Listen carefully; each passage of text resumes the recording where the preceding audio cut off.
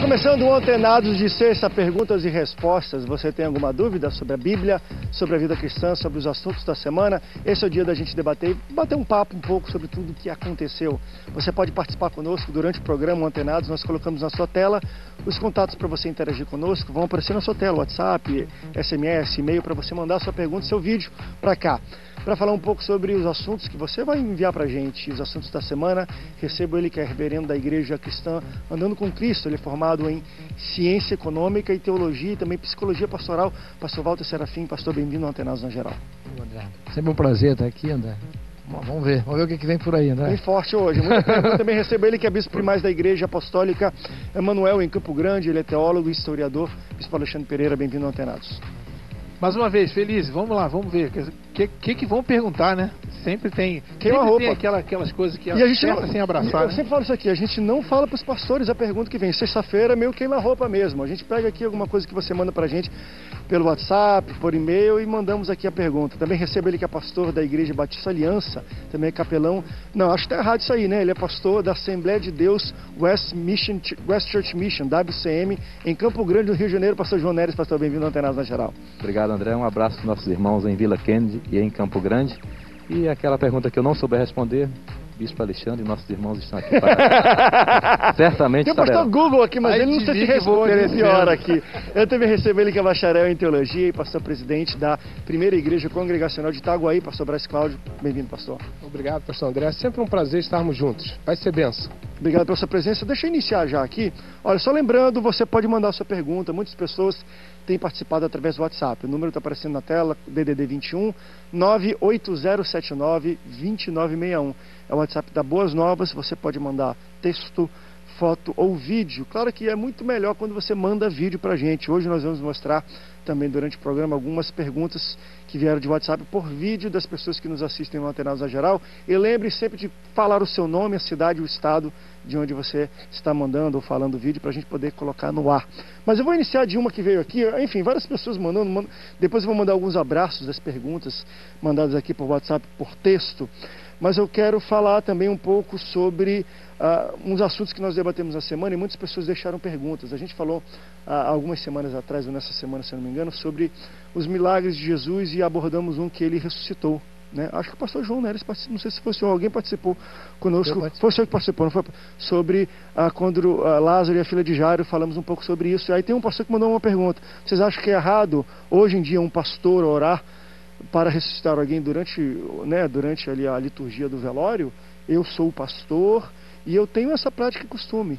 Por mais que às vezes não ressuscita, eu tenho fé e eu oro para Deus ressuscitar a pessoa ali.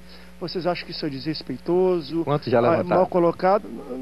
É, não, não disse, mas mesmo que não levante, né, não é papel nosso às vezes orar, você, você acha que às vezes também pessoas não ressuscitariam por falta de fé das pessoas que estão ali? Ah, vou orar. Porque você já percebeu isso? No fundo, no fundo, a gente sempre vai no velório, a gente não- sente isso. Caramba, você já pensou se orar, se ressuscitar? Não tem quem não sinta, Parece que a morte está igreja. vencendo ali. É, fica... só que você fica assim, não, mas já morreu. Um ambiente, poxa, já está aqui. Se eu falar isso, vai desrespeitar a família. Como é que vocês acham isso? André, eu, eu acho, eu não lembro se o. É desrespeitoso? Eu não sei se o pastor viu o debate, eu já dei minha opinião sobre isso eu- e eu, disse que já fiz isso algumas vezes. eu não faço sempre, mas quando eu sinto de Mas fazer, fez. eu já fiz. Irmãos, vamos uma orar ou fez? disse- uma coisa que eu disse aqui no ar, e eu vou dizer de novo, é o seguinte: na presença da família de todos, eu, eu não, não, não tenho essa coragem, eu não fiz. Não tem essa coragem. Mas Bem eu já- falado, já, obrigado. pedi para sair, fechei a porta e fiz. Agora, o que eu não acho certo é depositar no coração dos familiares ou das pessoas ali e dizer o seguinte: nós vamos orar por ele ressuscitar, Deus vai tocar e vai ressuscitar. Isso eu acho errado. Isso eu acho errado. Até que? Deus tivesse dito isso para ele. Eu acho isso errado. Por quê? Porque na maioria das vezes ele faz isso ou por vontade ou por emocionalismo. E pode ser que Deus não, não queira ressuscitar, não haja ressurreição e depois disso, como é que fica a família? Então esse é um problema. Eu acho que não é uma prática. Eu- não deve ser uma Eu prática. acho que não deve ser uma prática. Então é o seguinte. Eu já vi o pastor é o falar, seguinte, se ele morrer é porque foi da vontade de Deus, porque seria ressuscitar, mas... Mas também se não? for da vontade de Deus ressuscitar. Pois é, uai. É, então é isso, André. Então não é. o- Toda eu vez tô que você vai no velório, não tem esse sentimento dentro? Eu vou orar para esse, poxa, se eu orar para esse cara ele ressuscitar. Não, pastor André, esse André, poder- pelo Não contrário. existe Tem esse que ter uma sentimento. direção André, do Espírito isso. Santo. É isso que eu não ia poderia falar. ser Não pode ser. uma prática. Deveria André. ser se ele receber um direcionamento direto do Espírito, Exato. Aí ele tem que ir lá e mandar levantar. Ó, eu, eu, eu só só tem que ser macho pra fazer isso. Às vezes é de eu coragem nossa, não é nem de fé. Fé a gente tem, mas a gente não tem coragem. Pô, a família tá aqui, vai ficar feio pra mim. Vai me queimar. And- André, mas eu já fiz isso, André, é isso que eu tô te falando. Se eu sentir de fazer, público, eu vou irmãos, fazer. vamos orar, não, foi? público é o que eu tô te falando. Eu não tive essa coragem e eu tô, eu posso dizer aqui. Não, mas que bom que você tem coragem que de Deus me perdoe se eu estiver errado, mas eu, tô falando isso. Mas que eu senti já de fazer, sinto e acho que o pastor deve fazer se sentir. Agora, sair fazendo como uma prática, pastor João, realmente não é. Não é. Agora, se o pastor aí, telespectador, se ele faz disso uma prática dele, se ele só faz isso sempre uma prática dele, eu tenho a impressão que provavelmente algumas vezes isso não aconteceu na vida dele e ele provavelmente vai começar a ter problema ele mesmo com esse tipo de coisa. Então, eu acho que Eu vi uma, é, uma história, né, que certamente é uma brincadeira, que uma viúva, é, o pastor disse que ia orar pro o morto ressuscitar, ela, a viúva disse, ó, se ele ressuscitar, você vai levar para tua casa. Lá em casa eu não quero mais. Parece que, homem, parece que ele dava um pouco de trabalho. Na verdade, eu, eu tenho, eu tenho um Poxa, rápido. Então, o senhor já, já orar, tem orou? que ver a ficha, hein? Tem É, que ver a então, ficha assim, só. public- cidadão. Não, Pessoalmente, publicamente não. não. Publicamente não. É só assim, em espírito realmente você Não tem como põe, não orar. sabe, põe a mão no caixão, você. Porque publicamente eu acho que assim, você pode criar é, uma expectativa no coração daqueles familiares. Imagina aí um adolescente, ele vendo ali você, e aí não acontece. Porque Deus não mandou. E aí? eu, aí eu tenho, eu tenho dificuldade com isso. Pois, de quê? De orar? Tenho, sabe por quê? De, de não orar ou de orar? no texto bíblico. As irmãs de Lázaro, Jesus está chegando. A, pra- a palavra que Jesus recebe. Se o senhor estivesse aqui, Elas já estavam desacreditadas. meu irmão não, Não teria havia morrido. Então, para que, que veio agora? Chegou atrasado. Entre linhas, para que, que veio? Imagina as irmãs vendo ele ali chorando no túmulo de Lázaro. A cabeça dela. O que, que estaria acontecendo? Mas Jesus simplesmente mandou ele simplesmente sair dali de onde ele estava. Correto? Perfeito. A questão é que nós esquecemos do outro detalhe, que Jesus disse, desatai, vocês vão lá, desatai e deixai ir. Vocês é que tem que desatar ele. O problema é que nós estamos colocando atadura em volta de nós mesmos. Eu, eu tenho dificuldade de entender essa coisa. O que que é orar publicamente? O que, que não é orar? Você tá, o camarada está morto. Por que, que eu posso orar pelo canceroso para ele ficar curado e não posso orar pelo morto para ele ressuscitar? A questão, por que, que não posso fazer disso uma prática? Se é bíblico que eu oro, eu posso orar pela pessoa que está morta para ela ressuscitar. Qual é o problema? Eu Mas venho um orando por nesse todas texto as, todas, todos Mas os olha ofícios. só, mas a morte Sim, dos um santos segundo. é agradável na Peraí, Bíblia. Mas a não fala a questão doença toda- dos santos é Não, agradável. a né? questão toda, a questão toda é que, mas como nós temos casos e É que a gente vê a morte diferente Como talvez nós de uma temos doença. ca- Como mas- as irmãs de Lázaro viram. Porque, por exemplo, ele, fala assim, ele já estava doente. A Bíblia relata isso. Se você tivesse chegado dois dias, ele estaria vivo. Por quê? Porque eles acreditavam que Jesus curaria a doença, mas não ressuscitaria da morte. Porque não conheciam, talvez, isso tudo. Ok. A, a- a gente separa também a morte de uma doença, né? A gente, são, pra gente são níveis diferentes. Ok, de- mas a questão é que eu estou querendo tocar é o seguinte: ah, como você está dizendo, a morte é, é, é é bom e coisa e tal. Na verdade, a morte não é bom para ninguém. Só para quem se morre. você chegar- a morte é se bom para você quem chegar morre. Agradável ao Senhor. É, agradável ao Senhor, mas, a morte é pra pra quem morre. Eu tô falando dizendo quem fica. eu tô, eu tô, vamos sublimar essa coisa. É, eu não estou falando de Deus, que é, que é agradável para Deus, a gente sabe que está escrito. Eu estou falando para nós aqui. E aí eu chego lá, todo ofício fúnebre que eu faço, eu imponho as mãos sobre o morto e mando ele levantar. Nunca levantou. Mas Mas e o dia que levantar? E a questão, eu não estou colocando no coração da família a possibilidade que eu vou orar e ele vai ressuscitar. Assim como quando eu estou impondo as mãos, eu estou em fé, dizendo alguém? que o canceroso vai ficar curado. E a questão, a questão é que eu já orei por canceroso que ficou curado e eu já orei por canceroso que morreu. Agora eu venho orando por todos os mortos e ninguém, ninguém ressuscitou. A culpa é de quem? Não é minha, eu faço a minha parte. Porque nós estamos vivendo uma época em que a igreja está tendo homem de, homem de Deus, abre aspas e fecha aspas, que ora por caneta ungida para distribuir caneta na igreja, garrafa d'água. Por que, que eu não posso orar pelo morto? já que a caneta Então- está morta, vou, André, vou você tá morrer. Entendendo? Então a questão não é caneta que vem, não é que seja público ou privado. É, eu respeito o posicionamento dos pastores, mas se esse pastor vai em todos os enterros e impõe as mãos sobre o morto e diz, em nome de Jesus, levanta, e o cara continua duro e gelado ali, ele não cometeu nenhum erro. André, se é para falar, obviamente, biblicamente, eu diria o seguinte: é, O sujeito está ali, morreu em Deus, é crente. Eu acho que é mais uma questão de protocolo, não bíblico, né? Sim, mas, mas já que é falar ele está ali, ele morreu, ele é crente, morreu, ele ele ele ele está no céu. Obviamente, se vier uma instrução de Deus, é, Deus quer que ele ressuscita. Do contrário, Deus quer que mantenha ele morto. Mas imagina ele lá, lá, lá, tipo, no paraíso, uma postagem onde for, fez, não me bota de volta não. Dia Deus. 2 de novembro, eu fiz uma postagem uma vez dizendo o seguinte: para muitos, hoje é o dia dos mortos.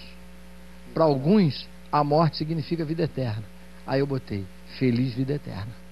Então, assim, é, é, o que eu quero dizer é isso. Às vezes, aquele momento da morte ali, que para muitos é uma dor, para aquele mesmo que já nem está mais ali, é Entendeu? Então, assim. Ruim fica pra ele depois pra ressuscitar, né? Acho que tem esse Aí, aí eu vou lá.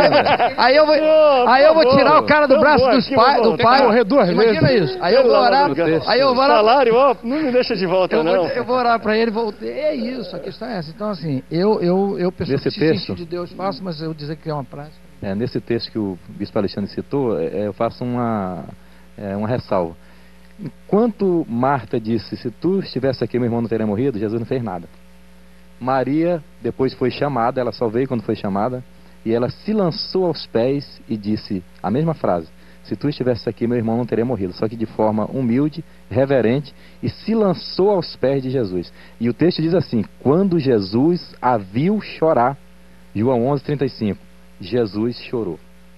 A mulher fez Jesus chorar. E o versículo seguinte diz assim: E quando ele chorou, se comoveu em si mesmo e disse: Onde colocaram?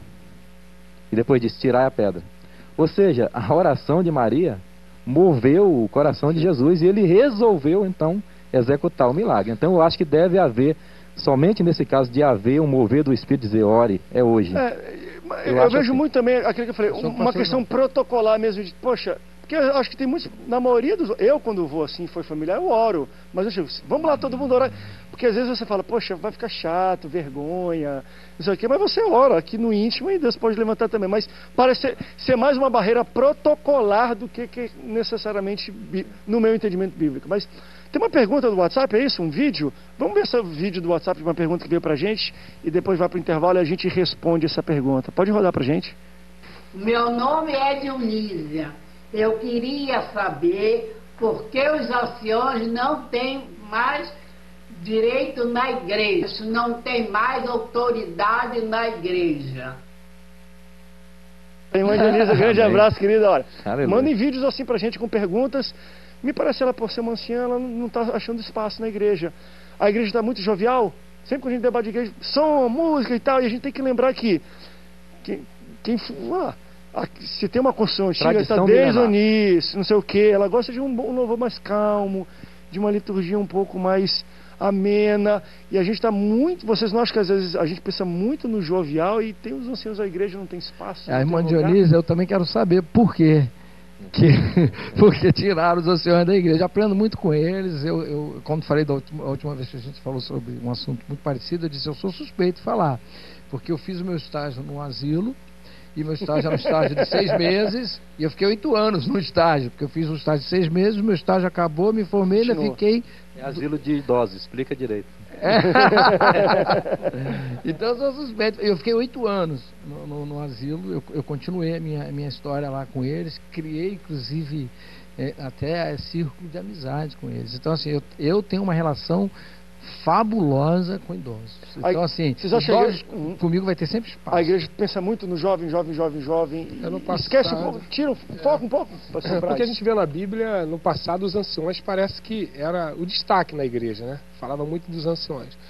E a gente percebe realmente no dia de hoje. né? O foco parece que os trabalhos são muito focados para a juventude, embora tá? a, a igreja que eu pastorei, e eu muitas igrejas, né? tem, tem um número bem grande. A, a que eu pastorei tem um número bem grande de idosos. Tá? E eles participam, inclusive, tem muitos idosos assim que fazem questão de estar em culto de jovens. eles querem participar. Na verdade, eles se sentem até alegres de estar caminhando, né? E vendo, inclusive, a juventude que no passado a igreja, eu acho que fechou tanto a forma, seja de louvor, seja para uma peça, seja para uma coreografia, para instrumentos, né?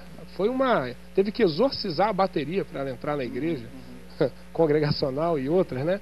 Então, é, eu, eu vejo muitos idosos, sabe, bem envolvidos também. Eu não sinto assim que que houve uma exclusão. Mas é a questão da inclusão, como você falou várias vezes. Inclusive, a questão da inclusão. É, o que aconteceu com a igreja é que é, ela acabou correndo para polos, né? E todos os polos eles são muito perigosos, né? Porque o evangelho é justamente o que nos chama ao equilíbrio.